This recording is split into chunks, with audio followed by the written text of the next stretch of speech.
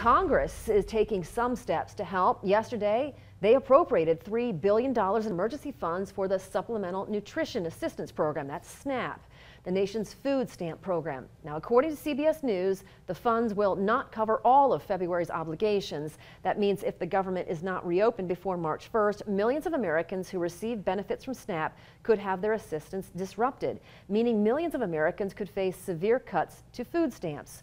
Well, this afternoon, CBS 2's Sarah Jacobson is live. She's at the Idaho Food Bank with how our local food banks are already preparing for a worst case scenario.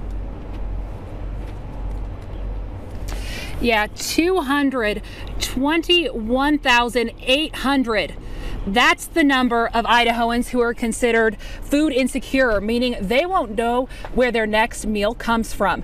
But it's this card, it's the Quest card, commonly known as a food stamp card. Now, this is what helps um, thousands within Idaho have access to healthy and nutritious food. And with the partial government shutdown going on at day 19, the Idaho Food Bank is now working to try to help out those thousands of Idahoans.